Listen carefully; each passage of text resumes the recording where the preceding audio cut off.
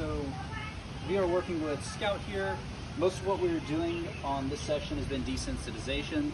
So we've done a little bit of long line work over by the children just to get her used to the idea of being near things that make her a little uncomfortable and then having the ability to remove herself from the situation, recognizing that she's not stuck there just because something scares her a little bit. But as we were coming back from that drill, we realized that she had an issue with textures, specifically this thing which gets dogs a lot. We've been doing a little snake drill where we will cross over one side, then back over the other side. And so we'll pick that back up. Scout. So she's a little hesitant over, but she does well. And we're just going to keep going back and forth.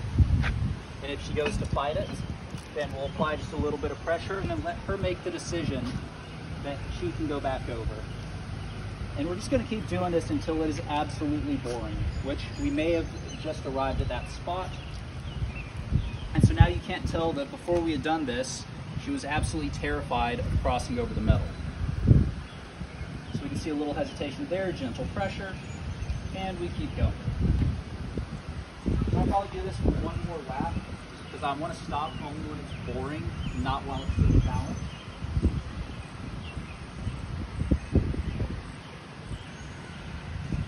And in the process, she's learning to pay attention a little bit to leash pressure while there's distractions around us.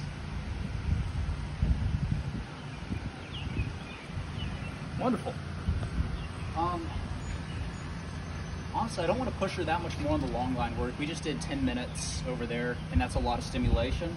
So I'm probably going to give her a bit of a break for most of the rest of this. And until she can calm down out in public, I'll probably go gentle on asking too much obedience from her. So I'm going to let her lead a little bit. You're and fine. Uh, that'll be most of the rest of this trip. All right.